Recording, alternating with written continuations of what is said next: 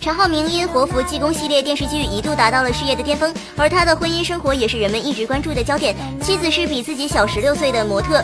在与妻子蒋丽莎结婚之后，妻子五年之内就剖腹产四次，为陈浩民生下了四个孩子，因此许多的网友表示不解和心疼。年仅三十二岁的蒋丽莎已经是四个孩子的妈妈，而且之前还获得过二零零三年湖南新丝路模特大赛季军。如今之前的光环已然褪去，陈浩民一点都没有体谅他老婆的艰辛，说妻子年轻时当过篮球运动员，身体素质很好，不会有什么问题。他表示还要继续生第五胎。许多网友更加不理解，自从妻子嫁给他之后，除了生孩子，一点生活乐趣也没有。近日，蒋丽莎去探班。陈陈浩民却被丈夫陈浩民推出门外，引起了网友的热议。网友直呼又一对恩爱夫妻被打脸，平时的恩爱纯属作秀，作秀不可怕，露馅儿才尴尬。陈浩民一脸懵逼的看着蒋丽莎，完全没有想到妻子会来探班。话说之前都没有通过电话吗？陈浩民看到后边有摄影师想套件外套，就把妻子推之门外。网友说，只要不是裸着，没啥不可以录的吧？先开门再去穿衣服，不可以吗？没礼貌。蒋丽莎拎着大包小包的食材蹲在门外的样子，网友很是心疼，真是作秀不可怕，露馅儿才尴尬呀。